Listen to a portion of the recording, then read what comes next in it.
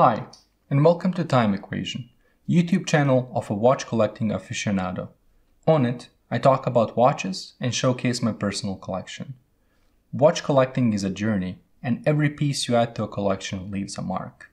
Every new piece teaches you something about watches, and each piece helps to refine your watch collecting taste.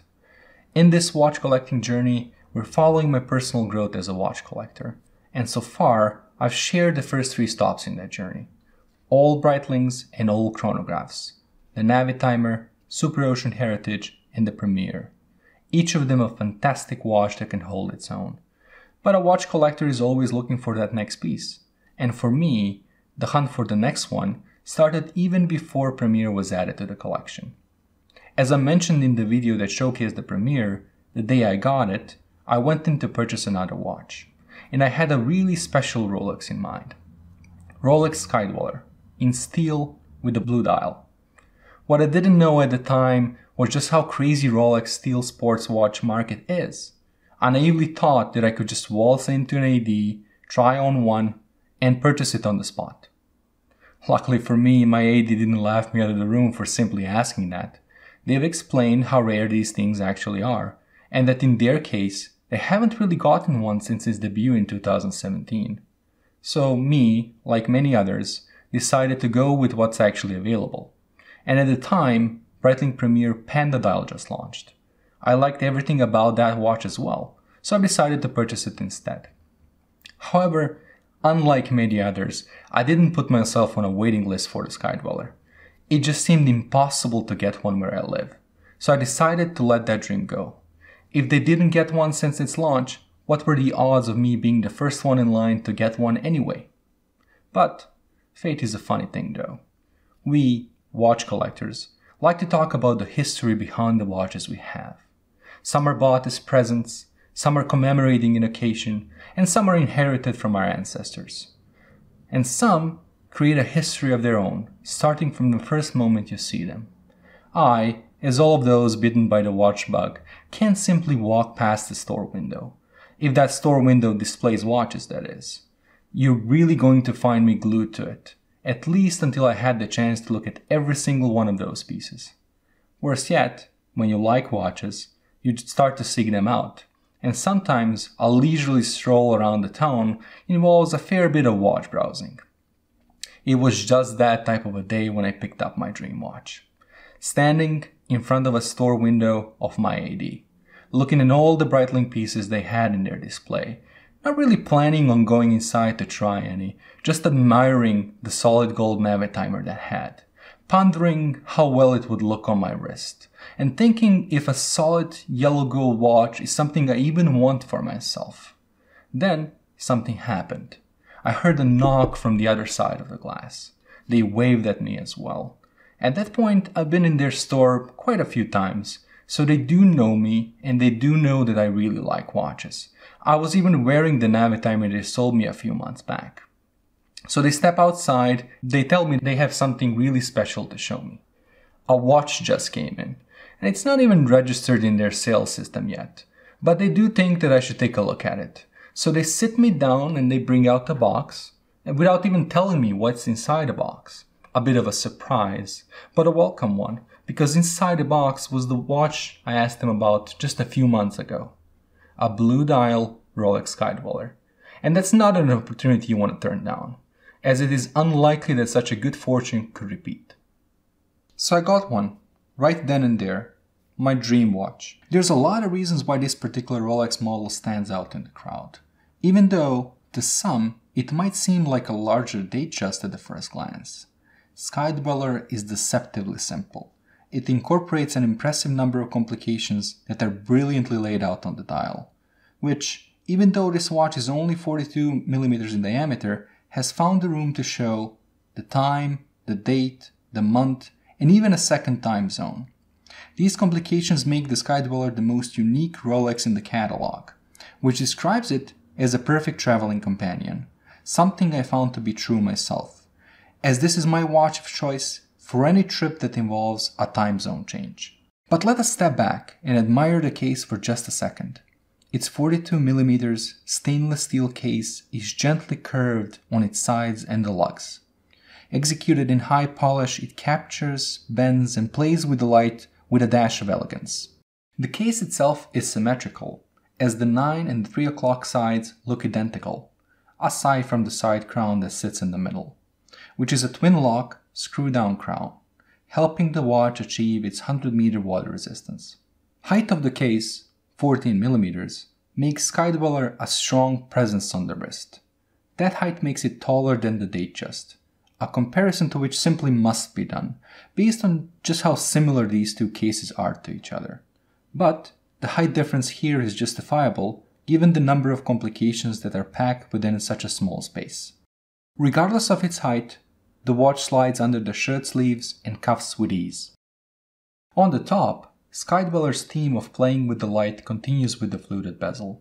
It captures the light and makes the watch glimmer across the room. Sky-Dweller draws attention to itself with pure geometry alone. Spectacular case execution and a sign of true watchmaking mastery. Unlike the case, the bezel is made out of 18 karat white gold. Forged in the Rolex owned factory foundries, this white gold is solid, with the same color throughout. And while it would be a shame to have it scratched, you can still have a peace of mind that even if you do, it will still look good. Out of all dial options, the Sunburst Metallic Blue is the most sought after. There's something about the blue face stainless steel sports watches that makes them irresistible to watch collectors.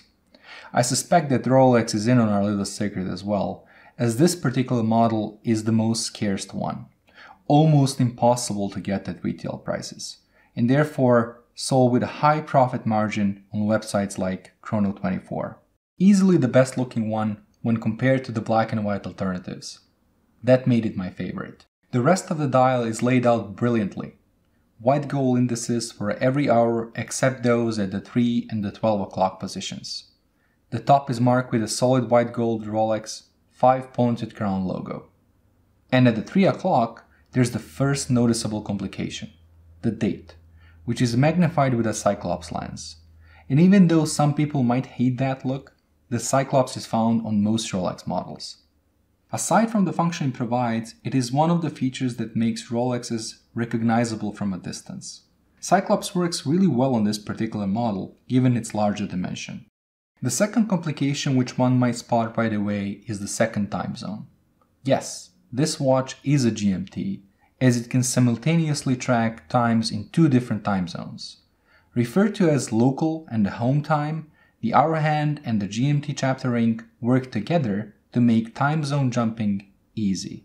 This GMT implementation is quite unique, and in my opinion, it works best as it keeps the dial clean. It eliminates the need for an additional hand to be driven from the center, in addition to hours, minutes, and seconds. The 24 hour chapter ring displays the home time, which is read just below the red triangle. Between Sky-Dweller and the GMT Master 2, this is my pick for a perfect travel watch, and consequently, this is my favorite GMT implementation.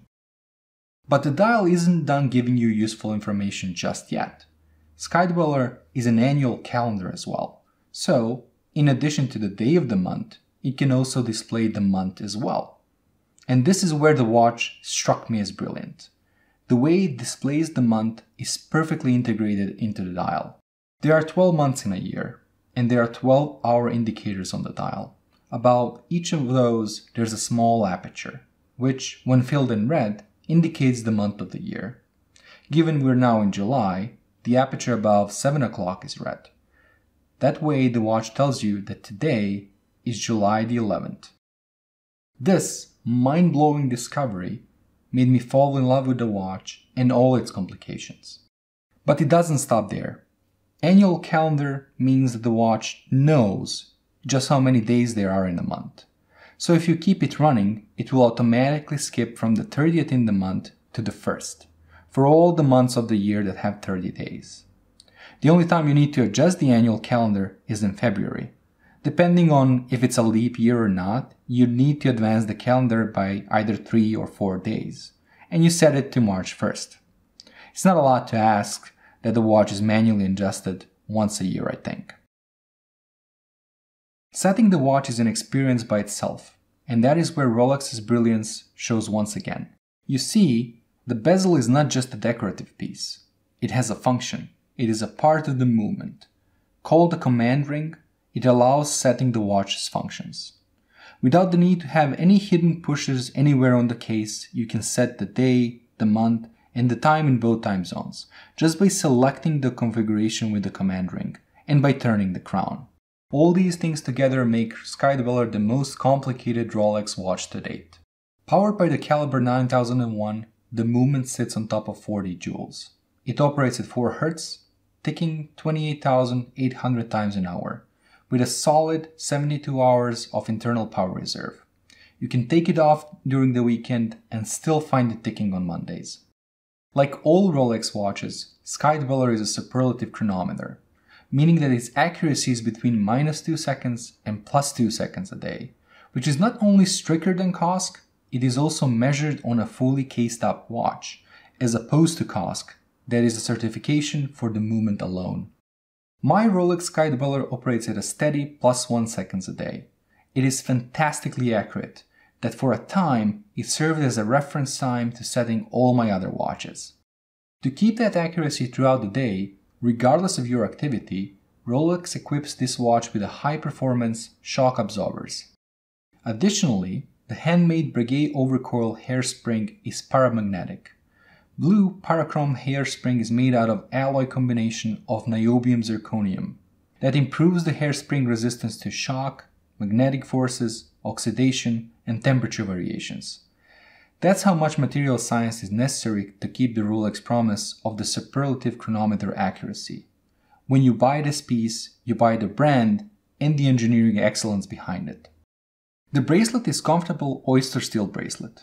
Made out of three links, it features the satin finishes on the sides and high polished center links. The links are held together by screws. That makes the size adjustments easy. The clasp is solid, milled out, stamped with the Rolex logo. The clasp latches shut, securely so, with a beak and a hook system. You can't accidentally open it. It has to be opened by lifting the beak. More size adjustments are available with the clasp. There's an easy link system on the other side. Opening that extends the bracelet by 5mm, equivalent of adding or removing a link. Inside the clasp, there's also a set of divots to additionally adjust the size. This is a very comfortable bracelet that lets the skin breathe as you wear the watch during the summer. Rolex Sky-Dweller is the ultimate travel companion. Hefty presence on the wrist and a blend of perfect sports elegance. Out of all the watches in my collection, the Sky-Dweller is the go-to choice. And funny enough, a typical watch of choice for when I'm out to acquire another piece. There's just something about this watch which makes me compare it to every other one, before making the decision to expand the collection. If I was ever forced to keep just one watch from my current collection, Rolex Sky-Dweller would be the one to keep. That's how good of a watch this is. My watch collecting journey continues. While this is the first Rolex I bought for myself, it wasn't the last. The next time I'll be showing another watch from my collection that has an interesting backstory. The next time we'll be looking at my first Omega, the fifth watch I bought for myself. Following this Rolex, my collection grew rather quickly. Every few months I'd buy a new watch that was different from the last. Today, my collection stands at a dozen pieces each with its own story and a set of quirks. I invite you to follow my watch collecting journey by subscribing to my channel. That will get notified and discover the watch I've chosen next. Until then.